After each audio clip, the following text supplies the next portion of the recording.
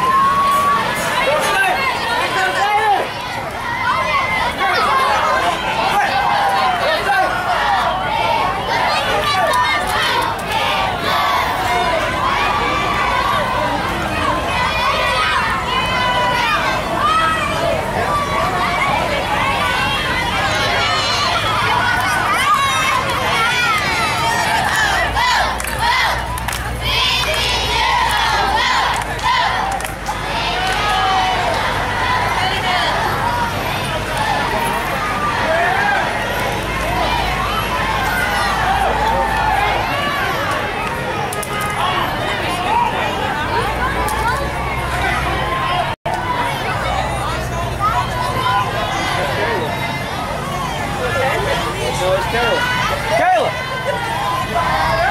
Is your mom home yet with me?